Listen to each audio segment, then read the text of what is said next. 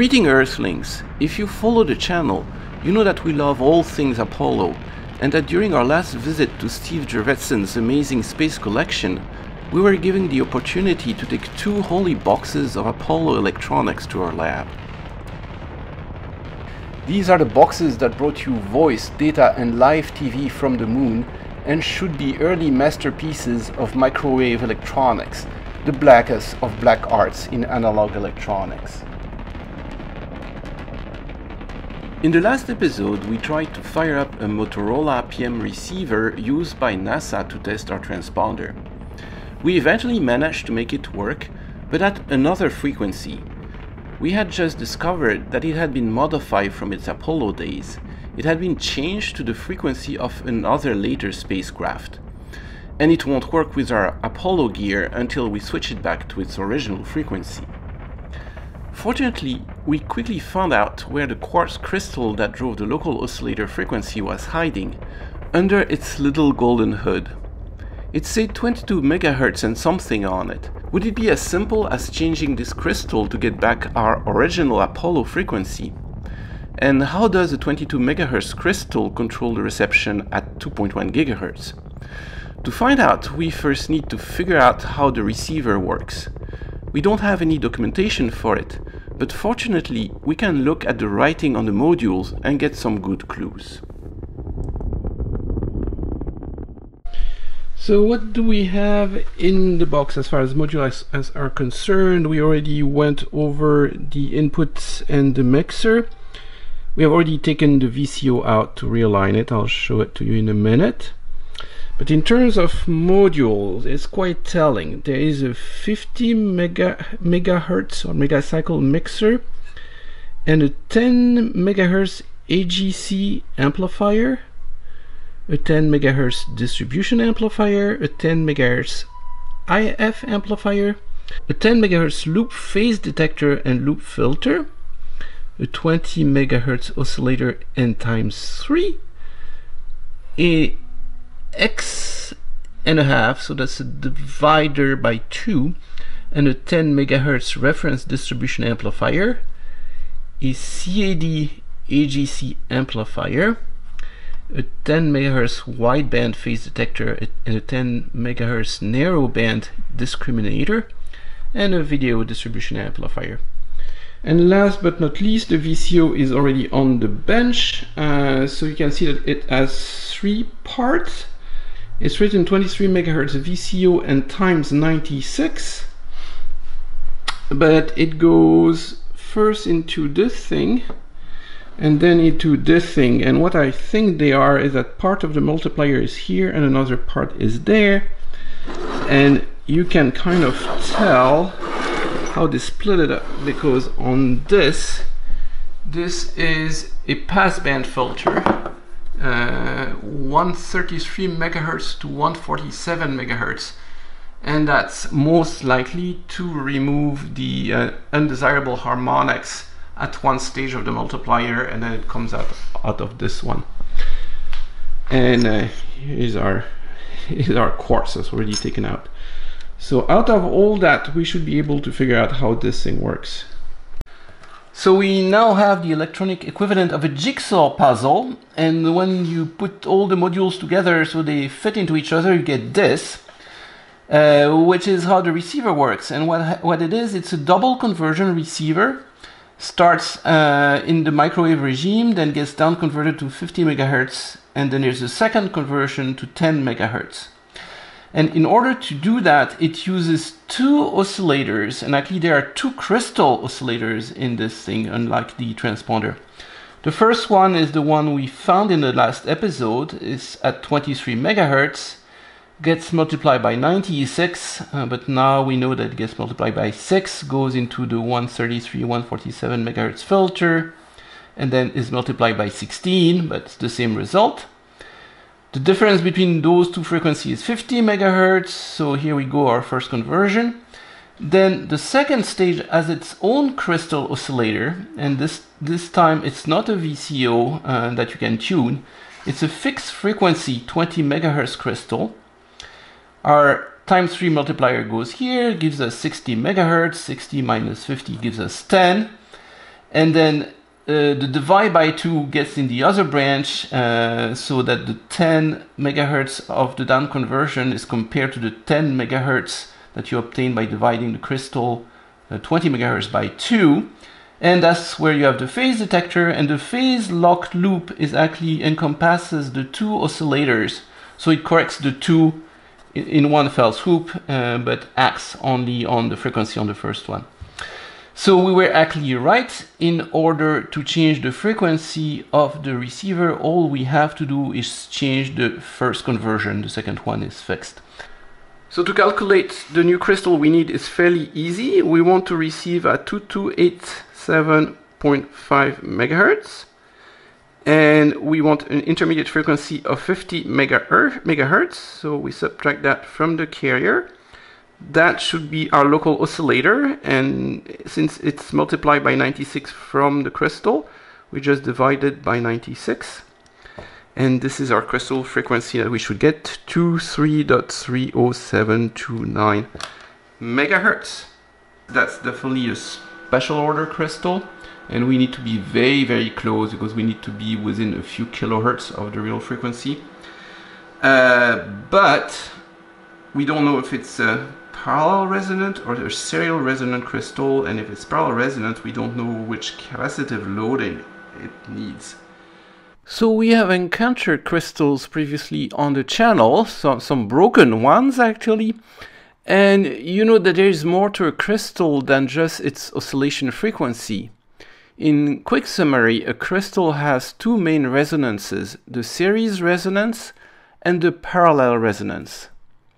In this VNA trace from the episode on our glitchy Soyuz clock oscillator, the series resonance is the peak at the left and the parallel resonance is the inverted peak to the right you need to tell the manufacturer which of the two you want. And if it's a parallel resonance, you also need to specify the capacitive loading the manufacturer should use to measure the frequency. And of course, it's not just a matter of changing the crystal and hope that the circuit is simply going to oscillate at the new frequency all by itself. We'll have to retune the VCO and the multipliers with the many adjustment screws you see poking through the module.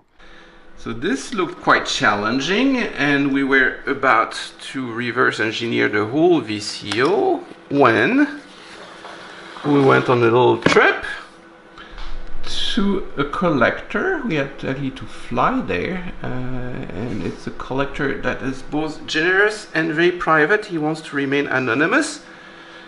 But guess what he gave us? I snapped this in the plane on our way back.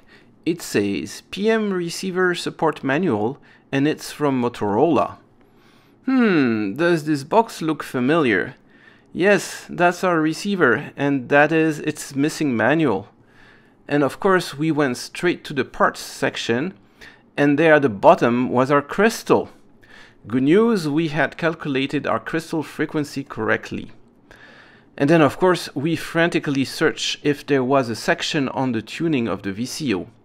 And guess what? There is the whole procedure in glorious details. No need to reverse engineer the VCO anymore. And it also says that the crystal control VCO is in a series resonant loop. So it's probably a series resonant crystal and here is the oscillator in question and you see the quartz the crystal quartz crystal the varicaps. so uh, it definitely looks like a serial thing but it's loaded with caps and L's and I thought you could only tune the parallel resonant frequency uh, so right now we have a quartz that's a different frequency on it. Uh, we extracted it and I want to figure out if it's indeed oscillating at the serial resonant or the parallel resonant frequency so I can order the right quartz. So that's the crystal in question that's in there. So here I have my little tester that I used in the previous video and I'm already all calibrated. As you see the series resonance and the parallel resonance And I was expecting this to be a series resonant crystal, but no. The series resonance is right here. 228842, which is not 22885417 and that's completely off. And of course the the parallel is over here which is 228881 uh, but to me that tells me this is not a serial crystal. That's a parallel resonance crystal. 20 let's put it where it should oscillate and uh, I'm on the atomic source for this so it's very precise. So here's my unloaded crystal that resonates at none of the advertised frequency that's on its face. And then if I put the 15 puff caps and now it's smack in the middle it's at exactly where it should be